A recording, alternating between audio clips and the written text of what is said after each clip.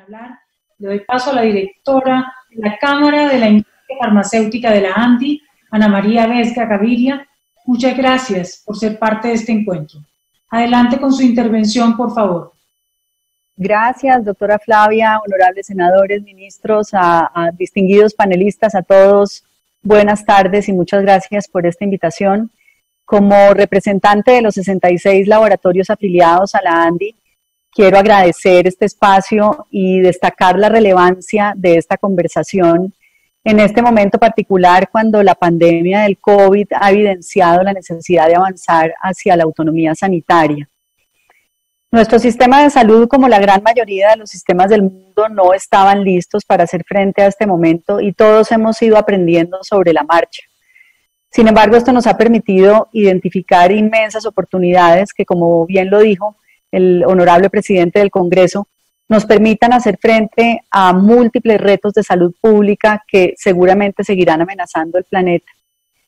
En la ANDI quiero contarles, confluye el 85% de los laboratorios farmacéuticos del país, nacionales y multinacionales, innovadores y competidores, laboratorios enfocados en desarrollo de nuevas moléculas, pero también muchos dedicados a la producción de genéricos y biosimilares de altísima calidad.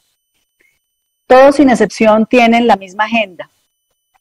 Eliminación de barreras de acceso, una autoridad sanitaria eficiente, moderna, vigilante y armonizada con las mejores agencias de referencia del mundo, la necesidad de construir una política de innovación y desarrollo que permita jalonar la investigación mediante la realización de estudios clínicos que aporten al país, que se queden en el país, que transfieran conocimiento, que atiendan las necesidades de salud pública y las enfermedades locales que transfieran capacidad y que atraigan inversión.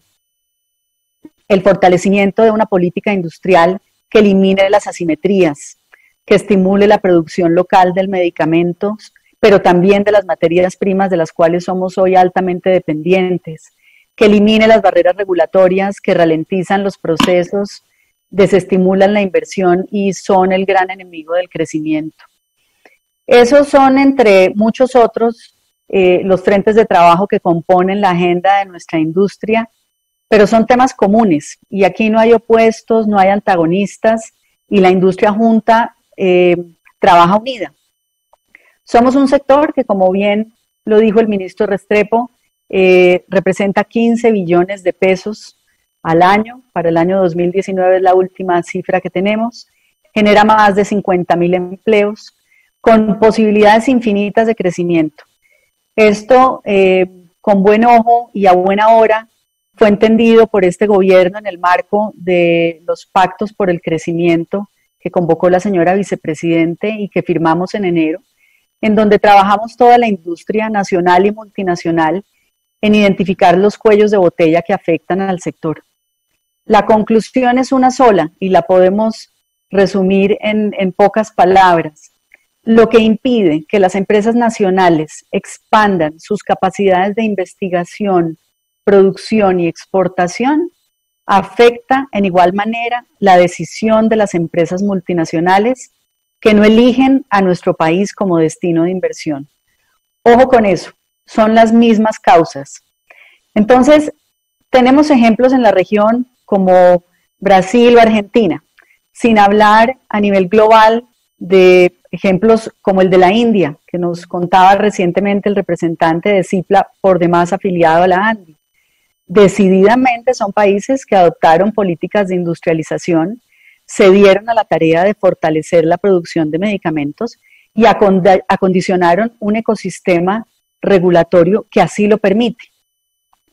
¿Qué facilitó esto? Que las empresas nacionales crecieron, pero asimismo las empresas multinacionales encontraron un mercado inmenso donde se compite sana y claramente y finalmente donde los beneficiarios últimos son los pacientes y un sistema de salud que tiene acceso a, múltiple oferta en condiciones sanas de competencia. Así que cuando pensamos en Colombia y nosotros hablamos en la ANDI de Colombia 2030 Hub farmacéutico, hablamos de ese ecosistema integrado que estimula la innovación, que convoca a la academia y a los centros de investigación y que favorece toda la cadena de producción de medicamentos. Yo realmente eh, no quiero extenderme más, sé que estamos corriendo con el tiempo, pero quiero eh, realmente celebrar esta conversación. Creo que eh, el, el, común denominador de todo lo que hemos escuchado en las intervenciones a lo largo de la mañana nos habla de un momentum, es decir, ese instante, esa alineación casi que perfecta que no podemos dejar pasar como país, donde, repito, caben todos, cabe la gran industria multinacional de innovación, cabe esa gran industria colombiana, pujante, quijotesca, que hace esfuerzos ingentes por competir. Cabe la pequeña industria que también se esfuerza por, ganarse un espacio en este mercado. Caben todos y se necesita de todos. De verdad que nuestro agradecimiento por este espacio, ojalá sea la primera de muchas conversaciones en la construcción de esta bien llamada autonomía sanitaria que realmente nuestro país merece. Muchas gracias, doctora Flavia, y a todos los presentes. Gracias a usted.